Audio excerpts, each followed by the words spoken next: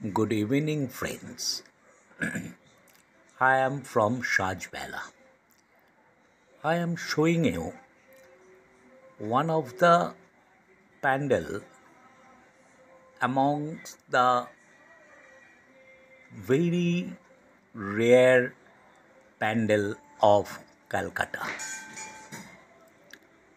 This is Tridhara, situated in the southern part of Kolkata near Triangular Park. Here the glass paintings is used and just see the combination of colors, lighting and the painting.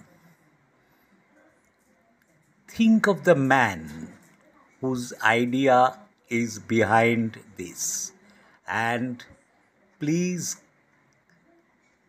give like to all the craftsmen who helped the man to make this beautiful pandal of Durga Puja. During night, you cannot see it properly, so I have planned to